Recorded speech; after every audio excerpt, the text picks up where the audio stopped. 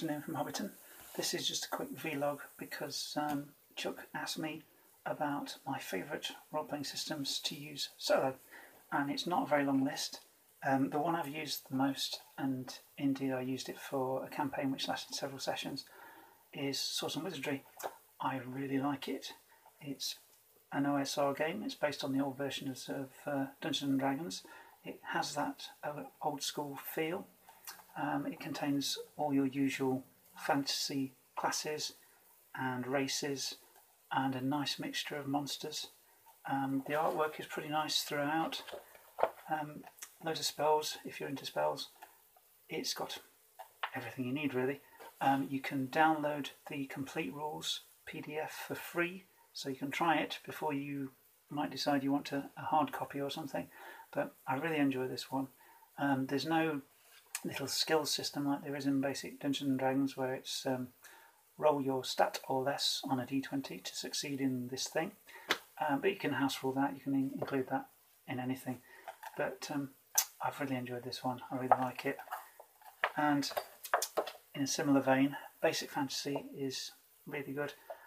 Again, it's available for free on PDF, and not only that, basicfantasy.org you can download loads of extra character options, extra classes, uh, extra skill rules, extra equipment, uh, loads of stuff, and loads of adventures that are totally free to download on PDF as well.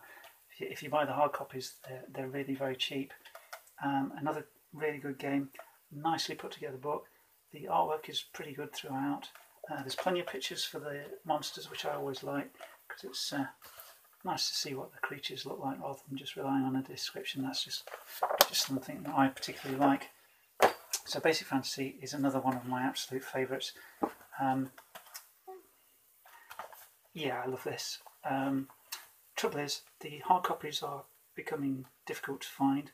Often they might be in a poor state, so um, they can be quite expensive.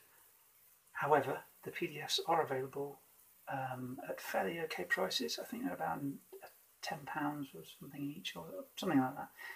On RPG and whatever. So you can download the PDFs, but um, I love these rules. Um, in the first two games I spoke about, you can have ascending or descending armor class. This is your descending armor class, and it's great. I love it. There's so much nostalgia in here, and from the Erol Otus covers to all of the internal art. Um, I, I, love it. I've had it for years. Um, I started with basic D&D and I love it to this. That's that one. The other game I've used in the, the Shonen story um, at the beginning of the year was RuneQuest 3. This was an old copy. Um, it's really good. I like the skill system, which is great if you're doing a solo game because um, you know if you need to see if well, can I manage to do that thing? Can I manage to take my boat through these rapids or something? And you look at your boat skill oh yeah I can yeah. So you roll your percentage and see if you can manage it. Um, the character creation is longer than your average OSR game but I would say for me it's quicker than 5th edition because I try to create a dwarf fighter in 5th edition uh, the other week and it took me ages. This took a lot less time to create Shonen and I look forward to doing some more Shonen stories because uh, I enjoyed that. Um, my selection of creatures, plenty of stuff, advice for GMs about creating worlds and putting together adventures and plots and things like that. Really good. White Box I've come to think of as a bit of a group game because it was the first group game I ran in about 20 years back in October. So in my head, it's it's a group game now. But um, I love this little book. The PDF is available for free, and the artwork in here is just really nice black and white art. It's, it's quite a consistent style throughout. It's really nice, sort of um, very old-looking line drawings. Um, nice selection of monsters and new classes all that you might expect from an old school role playing game. I will just mention, although I don't consider it really a solo game that I generally do, but I, I have used it on the channel, and that's something called Classics. We play this in our group, and the brilliant thing about it is that I'm not that into magic, and, and it doesn't really interest me much, but the magic system in here is amazing. It's so crazy. You never know what's going to happen. If you've seen my um, Temple of the Crocodilith video, I use a bit of magic in that. It's great. I, I wish you know you could just take the um, magic section out of here and add it to any OSR game. It will make it a million times better.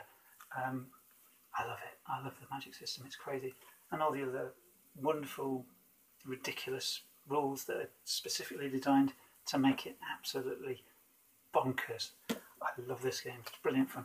But as I say, we, we play it on our group, so I just thought think of it as a, a group game these days.